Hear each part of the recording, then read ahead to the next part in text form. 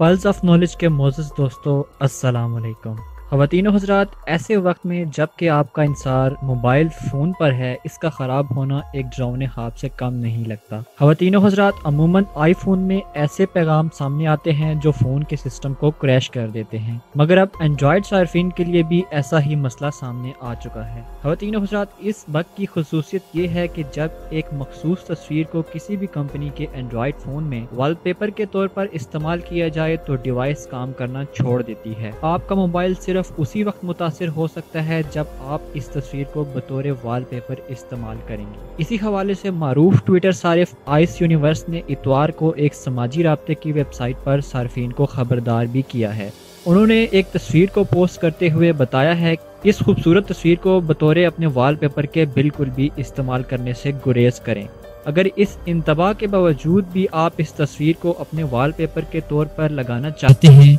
और देखना चाहते हैं कि एंड्रॉयड फ़ोन पर इसका क्या असर मुरतब होता है? तो फिर मोबाइल फ़ोन दोबारा इस्तेमाल करने के लिए कुछ वक्त आपको इंतज़ार करना पड़ सकता है, क्योंकि आपके मोबाइल के क्रैश होने के चांसेस बेहद बढ़ जाएँगे। खवतिनों हजरात सूरज गरूब होने की ये तस्वीर किसी भी एंड्रॉयड फ़ोन को क्रैश कर सकती है, क्योंकि इसमें एक ऐसा कोड छुपा है जो पूरे एंड्रॉयड सिस्टम यूज़र इंटरफेस को क्रैश कर देता है। यहाँ ये बात जहन में रखिए कि इस तस्वीर को ब्राउज़र पर ओपन करने या फ़ोन में महफूज करने से कोई फ़र्क नहीं पड़ता, मगर इसे वॉलपेपर के तौर पर जब लगाया जाए तो ये फ़ोन को मुतासर कर देता है। इसके अलावा तस्वीर में किसी किस्म की एडिटिंग करके भी इस मसले को ठीक किया जा सकता है और फिर वॉलपेपर के तौर पर भी इस तस्वीर को इस्तेमाल किया जा सकता है। ताहम जितनी कोशिश की जाए, इससे बचना चाहिए। वदीन हजरात, इसके साथ साथ जो सारिफ असल तस्वीर को वॉलपेपर के लिए इस्तेमाल करता है तो इसे बार बार क्रैश होने के मसले से बचने के लिए फ़ोन को फैक्ट्री रीसेट करना पड़ता है या सेफ़ मोड पर फ़ोन ओपन करके जल्दी से वॉलपेपर को किसी और से बदलना पड़ता है।